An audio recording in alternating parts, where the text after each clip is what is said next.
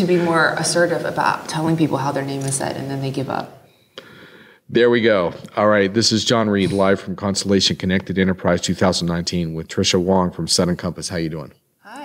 Are we actually live or is this We well, this is recorded. We are not live. Well, I will be producing it, but we are live in the moment. Okay, Do you great. get it? Okay. You can edit out terrible things that I say or yeah, yeah, but you're not going to say anything Naughty like that. Any well, we're not going to do that. Am I allowed to use curse words? You can curse. You can can curse myself? if you see fit. Okay.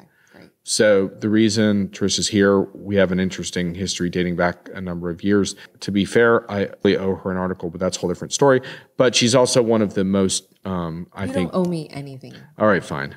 She's also one of the most interesting thinkers in the entire enterprise space, particularly around the problem of, of data. She's an outspoken critic of a lot of data practices, and we're going to get into why. And we're going to talk a little bit about her beef with CX because that's that's been an emerging buzzword that has a lot of fundamental flaws. And we're going to then go into what you're doing about all of this. Just to kind of get people oriented, we're at Constellation's Connected Enterprise event, which gathers several hundred CXOs, eclectic individuals in a strange enterprise community. But, but it's always interesting conversations. Have you learned anything interesting this week? Oh, I've learned so many things. I mean, the thing about Ray is that he always gathers a really fascinating community together, Yep. and that's why you learn interesting things. So you get people with philosophy backgrounds to, you know, who are actual, you know, programming, you know, algorithms, but because of their background, they're able to have these interesting, you know, insights. But one of the most controversial things that I was so happy to have heard on stage was my discussion with Jana Eggers, where Jana said, you know, I don't think that emotions can be programmed into algorithms, into computers, into artificial mm. intelligence. And that is really, really controversial for her to say because, you know, there's a lot of work that's being uh, done around the unconsciousness and can you, can we make mm. computers conscious and how do we tap into the conscious and, and outsource it to computers? But I think she gave a really convincing argument for why you can't do that. And that mm. was, that was, I think there were some gasps in the audience. Yeah. And and uh, you were on a panel, I think around was it ethics and I was on a panel with ethics uh, and AI, and then also I was on Andrew Nebus's panel that he did really well, where he got a really eclectic group of people together also. And I think there was a really great conversation there where I was really continuing what Jana was saying because you know the the brilliant genius Burnt Wall, who's you know the father of fractal geometry, has been you know doing really amazing work on imaging the brain, and he's really pushing the boundaries of what can be done. You know, and but you know I, I it was important that i say you know thank you burnt for explaining everything that you've done but we have to be careful to not conflate just because you can visualize the brain that we can actually understand the brain. Hmm. You know because a lot of times people get mesmerized with like oh my god well look burnt's work you can actually see what people are dreaming about and you can know what people are going to do. But i'm like you actually don't know what their dreams mean. You have no context of why they had this dream. So we have to be very careful. And we're seeing the same problems in facial recognition around AI, around emotions. I mean, there's a lot of companies out there who can claim they can understand your emotions just based on uh, being able to have you know images, computer vision of your face. And that is really problematic because we don't express emotions the same way culturally. And to think that you can mathematically represent something that we don't understand yet is very dangerous because then those decisions, when scaled out, uh, there's a lot of risk associated. You can see how it can create a cascade of issues. And so I'm very concerned about how companies are assuming that they can mathematically represent things that are actually incredibly fuzzy and that are also changing because maybe you could mathematically represent at that one point in time, but it's an ongoing, you know, we're in a dynamic system. Human emotions are dynamic. right. And the ethics of design, I think, has been sort of a constant theme of this of this conference, right? In that if you adopt these next gen technologies without understanding the undertow and the implications of the the casualties of that technology, then you're then you're really have going to have a problem. And that was, I think, a pretty constant theme this year. Totally. So, what I wanted to get into is the way I kind of think about you um, from how I originally got to know you. You did a, a really cool talk at Enterprise UX. Shout out, shout out to Lou Rosenfeld, Lou who Rosenfeld. who's such a great guy who organized Really this is. show. He's a standout guy. In He is space. absolutely. If you don't know who Lou Rosenfeld is, you should look him up. But um, and go to his their annual conference, Enterprise Yes. Experience. I think it's one of the few unique spaces. But you had a really cool presentation called "Solving Not Sexy but Important Problems," which I think was spot on. I think of you as having an ethnographic approach to data. That talk is not on YouTube because you you had it pulled down because you didn't like the sound quality. Remember? Because remember the AV was right, there. But right. but you need to give that talk again. So yeah, you need to go back on that one. But you do have a couple related talks. So if folks do a search of Tricia Wang on YouTube, there's a couple other related talks that are still up. Um, but so you have a fundamental critique of how companies are approaching big data. What is that?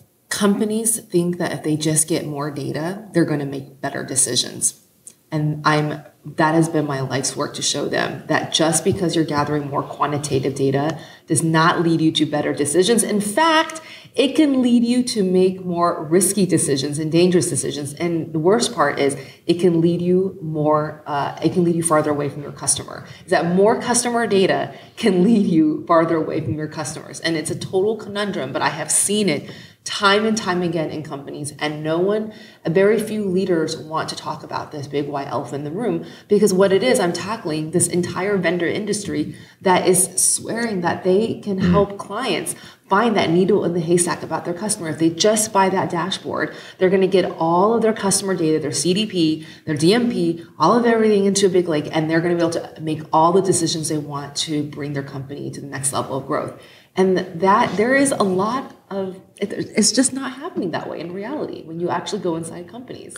Right. And you you describe yourself as a technology ethnographer. What does that mean? So ethnography means the science of studying people. And mm. i just so happen to study people, how people use technology and I made up that job title because there was no job title that fit me because actually my work crosses marketing, it crosses digital, data, and design. So I was like, well, how do I actually fit myself into any one of these functions? And so instead of making the job title fit me, I was like, well, why don't I make up a whole entire new job? I, instead of making myself fit the job title, I was like, I'm going to just make something new that is not even out there so that I can actually just talk to people about what it is that the problems I'm trying to hmm. solve. Mm. And the problems I'm trying to solve are around people and technology and how do we get how do we leverage all this amazing technology? A lot of people think I'm against big data or against technology. I mean, no, I love quantitative data. I think we can do amazing things now. But we can't just only say well, all we need is quantitative data. All we need is mm. this one piece of technology. That's just magical thinking. We have to right. think about this in an ecosystemic approach. So we're going back a few years now and some of this when when big data was a little bit more I think people have stepped off the big data hype and but but it still kind of ties into what we're going to talk about today but what in the in the prior critiques that you issued you had said over 73% of big data projects aren't even profitable which is an interesting point that sort of illustrates that this has not been some kind of magical solution but then you you encapsulated a point that I think about a lot which is why do companies have so much trouble making good decisions from what they learn? Um, and one of the things you said in your talk, and I'm just going to read this for the audience. You said um, most examples things fall apart in decision making. The insight loses fidelity as it goes up what I call the alignment journey. A truly new insight or idea gets distorted, and through each step of the hierarchy, as people try to tack it on, to what the business is already doing through a PowerPoint on top of another PowerPoint on top of another one. By the time these insights actually even make it up to the decision makers, they somehow feel less powerful and transformative. And anyway, I think that's a really good summary of like how how this thing kind of falls apart. But then there's one more piece of it, which is this thing around these quantitative reports. They're missing a crucial piece, which you have referred to as thick data. So tell us more about that. Yeah, so so yeah, 73% of organizations are not succeeding with their big data transformation. And Gartner's report just last year said that 91% of organizations have not yet reached a transformational level in their digital transformation. Why is this happening? Why are the numbers not getting better? You know, why are we struggling so much when we already have all the technology to collect, to warehouse, to store, and to analyze all the quantitative data that we have now?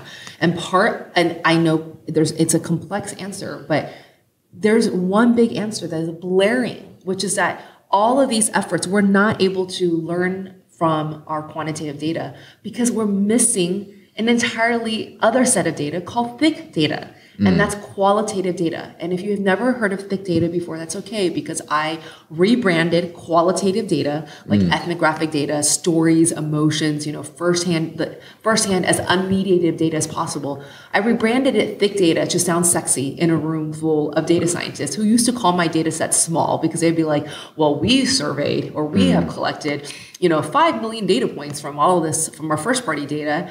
And I would be like, "Yes, I have talked to 10 people and I have spent time you know but they're like oh you were just talking to what a small data set. And i'm like no i have when i say talk i'm really understanding their perceptions their stories what life is like in their shoes.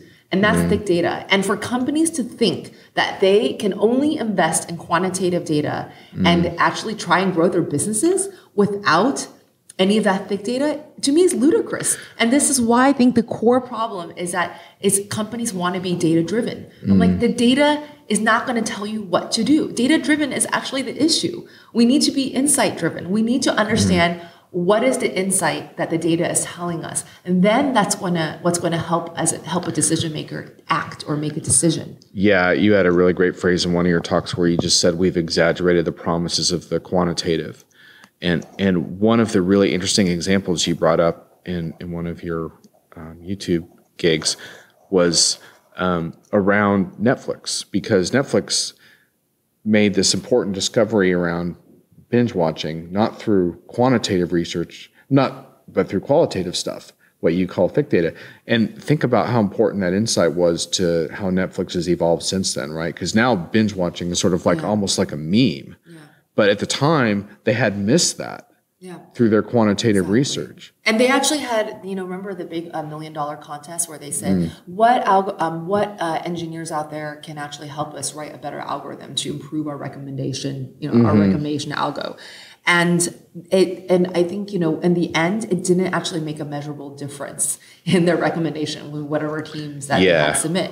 And it wasn't until they said, okay, we're going to actually go embrace thick data. They hired an ethnographer, a really well known one named Grant McCracken, who went out there and just gathered thick data. What does that mean? He literally just hung out and spent time watching TV with families, watching media, understanding their daily lives. And that's when it emerged. He was like, wait a second, people are watching shows consecutively, back to back. And the, and the best part is they're not embarrassed about it. You know, before people would be embarrassed about it, but he was like, no, people actually, this is like protected time. And then they shut off and they actually want to binge watch. And then, so what that did was it changed the way Netflix designed how TV, how their next show popped up. Instead of giving you a recommendation for a different show, guess what their recommendation algorithm did? and you don't need an algo to do that. It's like they were like, well, just watch the next episode, and we're gonna make it so easy. It's going to have autoplay, you know. And that's a, a great example of integrated data thinking. This is a new practice, a new skill set that we teach that we think is needed for the 21st century, which is the ability to integrate different kinds of data sets, in particular data sets that are on the quantitative level and also on the qualitative level. And you have to integrate that to tell a coherent story. And so this is why we're teaching companies um, and we're working with universities and also professional programs to really make sure that this is a new skill set that is taught and learned for how do you integrate qualitative and quantitative, the big data and the thick data. Because if you can do that, then you can start being able to play with different kinds of data sets to make better decisions for your customers. And there's one more piece that I want to get to here of your sort of foundational ideas, which is every company needs a department of the unknown. Tell us about that. Yes. So I I think this is really critical is that companies are so good at getting, you know, at optimizing. They're really I mean you're really good at like maximizing your EBITDA and making the making, you know, I think it's called EBITDA and I'm I've been spending a lot of time in the South America, so I call it EBITDA, but it's here's called EBITDA. And you know, you you really know how to make to, to maximize value for your shareholders. There's certain kinds of mechanisms of financial reporting that are needed there. But those kinds of skill sets are great for optimizing the known. You already know the variables that you need to manage. For a company to not just survive, but to thrive in this era, because the world is so complex now and you have all new customers, right? All these new kinds of customers coming in, new markets. You also have to know how to manage the unknown and not just manage it, but then take advantage of it and have the unknown drive your growth. Mm. So every company needs a department for that. And I say it facetiously. It's like, I don't technically mean you have right. to create a department of the unknown, but what I mean is like everyone, you need to be have people to say, you know what, you're in charge of bringing the unknown into the company and you're going to get the resources to be supported to do that because that's where we're going to look for growth and and not in a siloed way so i'm not just talking about like only an innovation lab and just throwing more money at there but the company needs a department or a, a person or a group of people and processes and a culture that really knows how to ingest uh, to find the unknown and to mm. ingest mm. it into the culture and drive that into the business mm-hmm. And and you've built all of this critique into a, methodology to help companies with these problems, and we're going to get into that. But before we do that, I have to ask you, uh, while we're deconstructing buzzwords, what is your beef with customer experience? The thing with, you know, I have, I mean, the reality is I love I think it's important to focus on the customer experience. It is the most important thing because your customers aren't buying features, you know, they aren't buying your technology. They want to have an experience. They don't just want the story of you, right? And they're not just looking for the story of me of themselves. They want good customer experience is the unification of you and me into a story of us. Great brands tell a great story of us, and that's what a great customer experience is. What I see happening now in the effort to for companies to say we want to be customer centric. You know, we realize that we weren't customer centric and now we're customer centric. So guess what? How we're going to solve that? We're going to create a whole new head of customer experience, and that's going to be called CX. And it's a whole new art and science. And we're going to hire a chief experience officer. And what it does, what I'm seeing it do inside companies, is creating a whole new silo. And it's then creating a whole new set of problems because mm. the CX officer usually isn't empowered with an amazing team. They have to build, you know, it's not like, you know, they're connected to marketing as much or to all the other amazing parts of the organization that are doing a lot with the customer. And so my issue with is that we're treating it as if we were inventing a new thing as opposed to companies that do really good work on CX. Yes, they may have a head of CX, mm-hmm.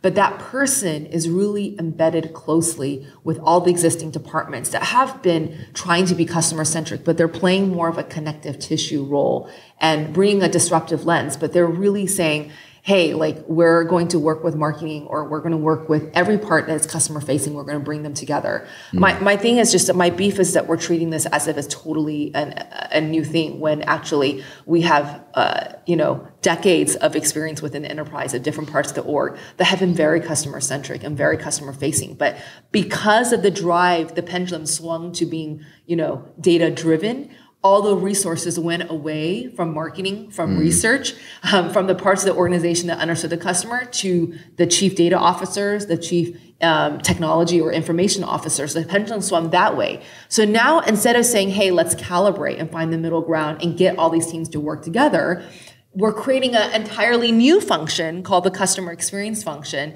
And I just worry what I see happening. And my worry is well founded because I get called in often to be like, we have a chief experience officer, but we don't know what happened. The chief customer experience officer. Like, why is it, why are our organizations and functions not playing well together?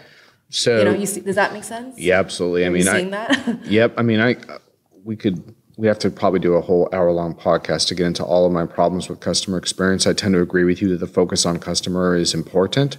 I'm yeah, gonna. I will focus my critique on the area that I think ties in with some of the work that you're doing, which is that the problem I have is that, you know, I've always experienced brands to be pretty impersonal and inconsistent, and and I navigate my way through that landscape. When someone tells me that they care about my experience, they are raising the bar they are raising my expectation that now I'm going to have that.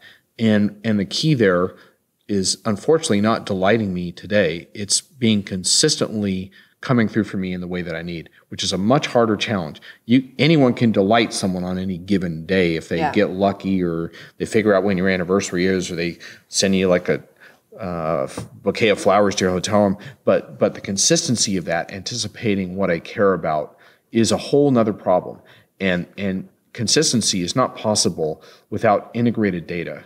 You have to have data across all the different ways you interact with me because I expect that. I expect you to know what the support person said to me yesterday. I expect you to know what the concierge said to me today.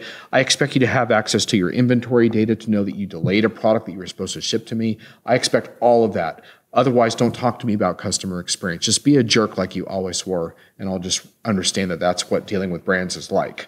And right. so that's my problem is that they're upping yes. the ante of my expectations without uh-huh. having the technology and data platform to deliver on it. So that's my problem. But, but now it. the goal is like, well, we have a customer, we have a CDP now, right? We have a customer data platform. Oh, the better. CDP. And I don't. I maybe that's a whole other topic, but like, where's Nicole France when we need her? I know she has an amazing Nicole. article on the front page of Constellation about this. She just because, said, Nicole, if you guys um, go to the Constellation site, Nicole just did a takedown of customer data platforms and the deep problems with with that she has with them. So it was pretty cool. Yeah, because but, and, and, the reason why these CDPs don't work out because and is that off, exactly what you just said is that the enterprise is so large now that they have siloed and cut you up as a customer and your data sets into the supply chain, into customer service, into yeah. marketing. So no no function even knows how what data they hold on you, and they're right. not talking to each other. So the goal is what a CDP is going to solve all that. Well, let's not tackle that. Just go to Nicole's article for a start, and maybe Jon will then write an article yeah, about this, and I would exactly. love for him to take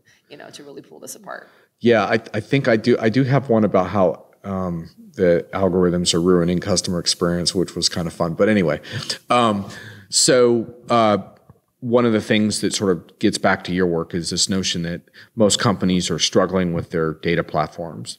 And, and I guess that's how you get pulled into the picture with your company, Sudden Compass. But tell me about like what happens here. Companies reach out to you. What are they struggling with?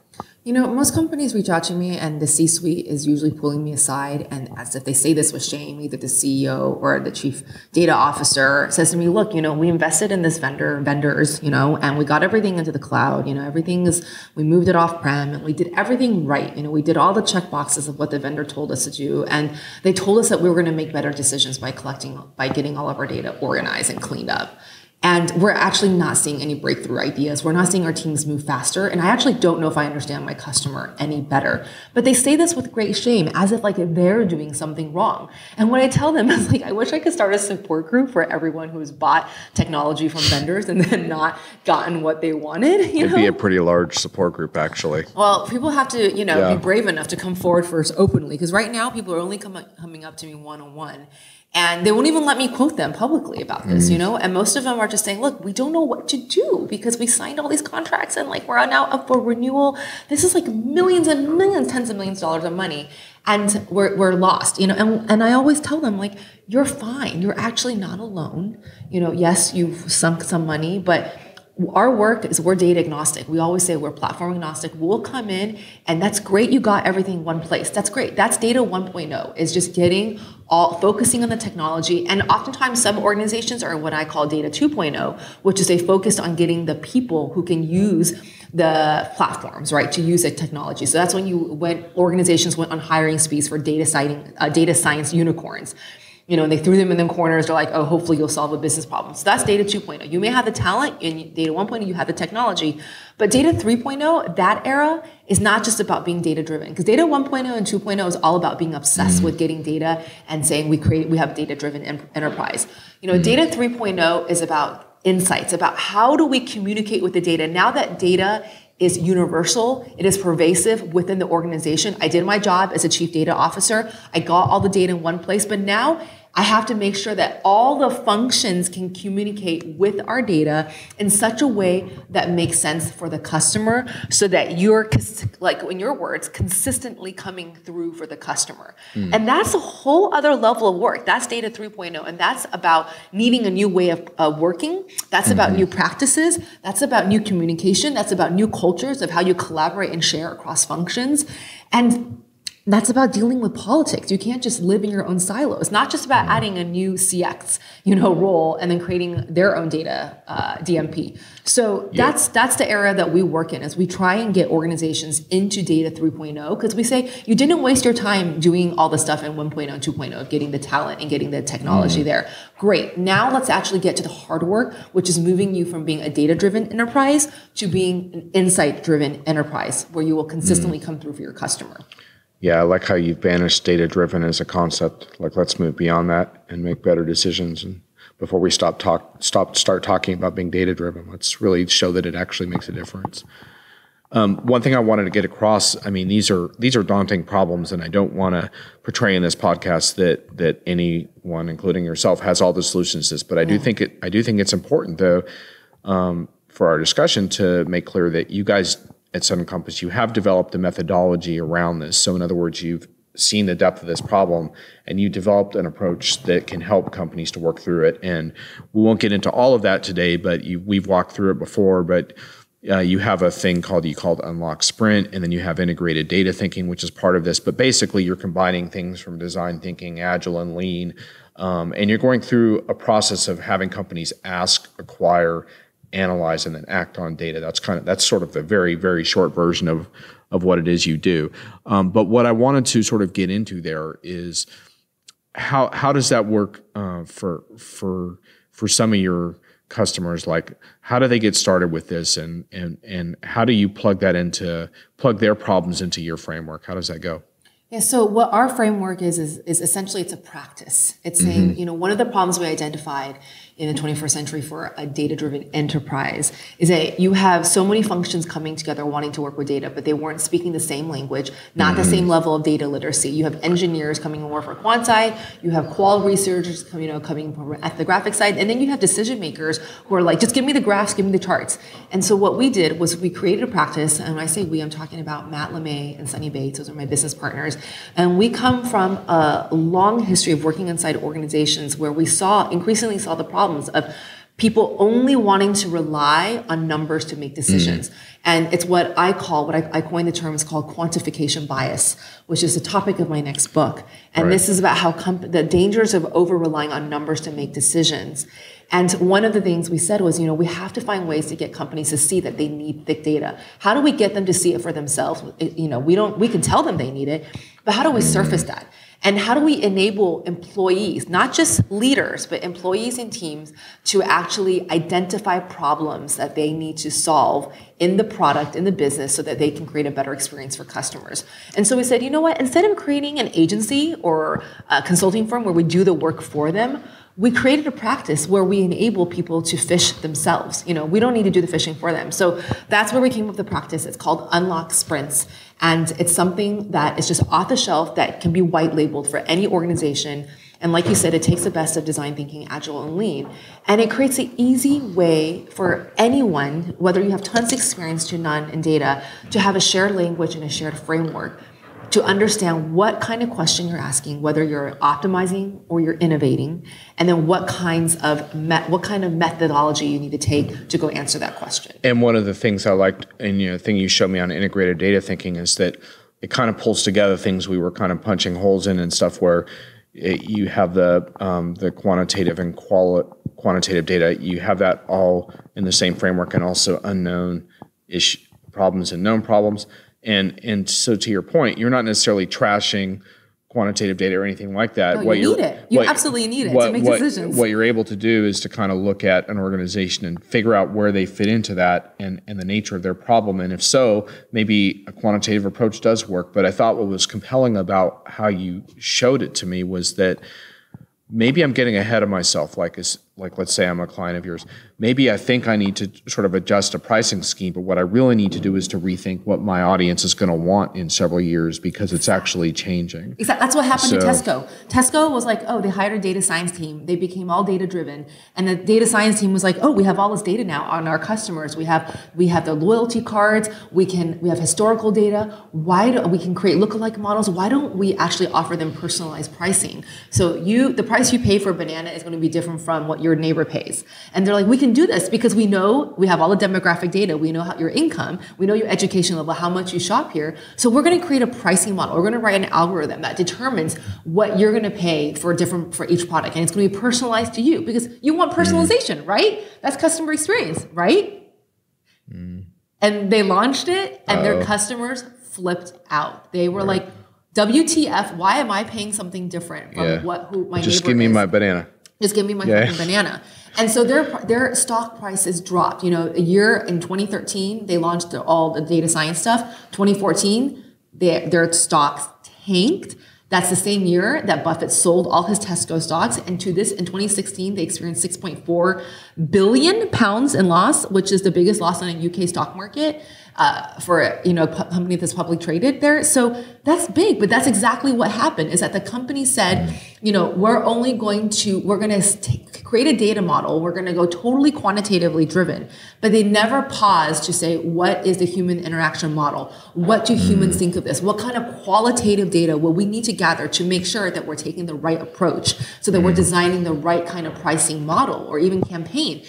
And this is why we created this practice because we created something that you could learn in sprint based mode about mm-hmm. your customers in an easy way. You can time box your sprints to either half a day to a week, whatever you want, but it forces you to say at each sprint, what kind of data do we need to answer the question that we have? So mm. that in the end, you should have collected a variety of data from quantitative to qualitative, you know, using all the data that you have and all the data you need to go gather to make the right decision for the business. Right. And what I think is also important here is that a lot of the most important data for this type of decision making is actually external to enterprise walls. I mean, the the classic example is weather, right? And the impact of weather data on all kinds of things pertaining to retail and individual consumer behavior and everything else. And you know, so you you when you when you think about this, you have to think about it from that data platform perspective because to your point, Otherwise, you're going to get ahead of yourself and you're going to head down this sort of data science direction. But maybe your data is clean, but it might still be too narrow. You know, clean is only part of the problem. If it's too narrow, you're missing something, you know? Just because it's measurable does not mean your data is valuable. Right. You have no idea what you may have all the right yeah. lagging indicators, but that's all lagging. That's all data you've already known to collect. Right. What about the leading indicators that are emergent that have yet not yet not been quantified? And yeah. this is why the quantification bias is so dangerous because it makes you think you already have everything. Right. when you don't. When you don't. Right and so so part of what your practice would be with the company would be to kind of pull back and kind of put the brakes on perhaps those forward surge of plans and kind of and and have a look at how this fits into the overall framework you developed and and ask those questions. And have you done that qualitative research on this as well? And if they say oh we have then of course then you're good maybe. Then then they know those answers. But if they don't then they maybe ask some of those bigger questions and then they know that the the specific things they they work on are in a are informed by where their customers are really going. Exactly. So companies yeah. bring us in for what we call uh, often a, they request us to do what we call a data diagnostic. And so mm-hmm. we come in and we actually go and analyze. Do you have a practice to get your data together? You know, mm-hmm. do you do your do your um, employees and teams have a shared language or framework? And usually the answer is no. You know, and most importantly, the most important data not diagnostic that we do is they actually show us their data models. We actually say, show us your algorithm, show us the way you weighted your variables, show us the assumptions. What were your um, assumptions going in for picking this variable? Where did it come from? Where is it based off of? And when we start to ask why, why, why, when you start to actually ask that question, most companies have not base their data models off of a human interaction model. It is mm. based off of assumptions that the engineers or the business leaders made about what people would do. So in Tesco's context, they made an assumption in their data model that people would want personalized mm. pricing. There's nothing technically wrong with their algorithm. It was actually very beautifully written to do predictive pricing or for personal, you know, personalization. Mm.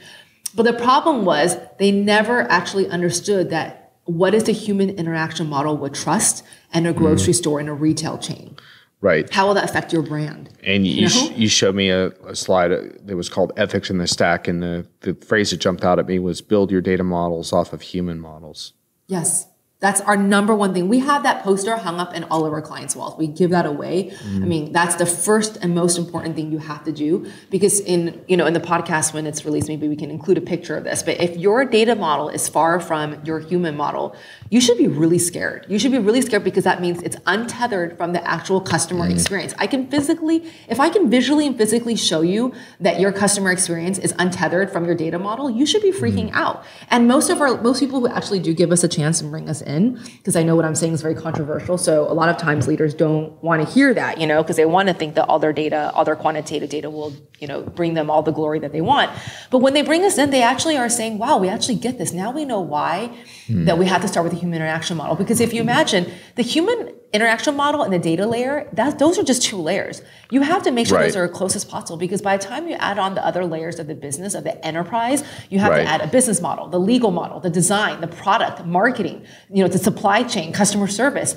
All of these layers that start to play and actually bring a customer experience. If those things are all untethered and your stack is not as close and tight and unified as possible Mm. to that human interaction model, you are not doing as well as you could be. I don't want to say you're screwed, but you're certainly not doing as well as you could be. I be. think you did say that before we started taping. Okay, fine. So.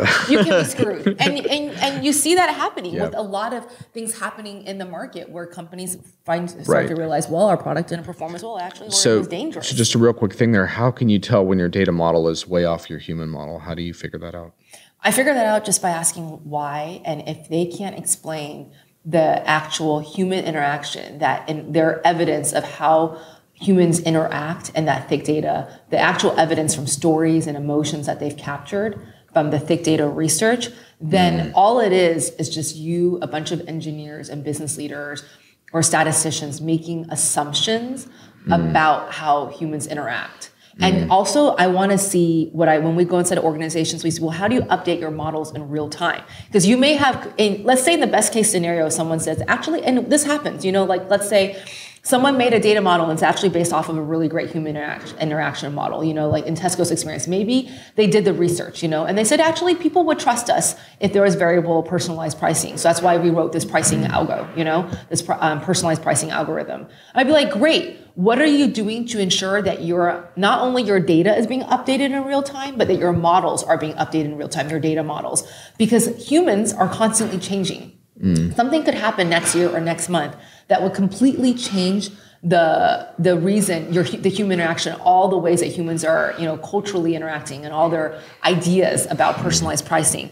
That may change. So that means your data model needs to be updated to actually reflect that. And most organizations think they can just do point in time research without constantly making it a real time thing. There you go. Well, I want to get you to your next appointment, but real quick, you guys have this partnership with Google, and you're going to be open sourcing some of your stuff. Yeah, Give we're me going a quick be answer. we're going to be open sourcing some of our materials around unlock sprints and in integrated data thinking, so that you don't have to only just talk to us, you know, and bring us in. But Matt and I decided that we're like, you know what? Instead of you know, we believe that this is so important that we would rather um, even give a crude version of instructions to put it out there, so that organizations can start playing with this framework of integrated data thinking. You don't have to, you know, bring us in for a lab to use it. Start trying it out. So you're going to see that in early December when Google Design Sprints. This is the whole team that Kai Haley and Felix has been working on relaunching the site to open source materials to the world. So I want to really thank their team for creating a platform so that you know mm. some of these materials around how do we improve the way we work with data can be more accessible to everyone. Because I don't think this should be something that should be kept secret or Right. locked down only to you know a pay pay to play kind of situation. So I'm really excited for the world to see get access to that. Cool. Okay, very quick. Why are you obsessed with aviation? Oh my God.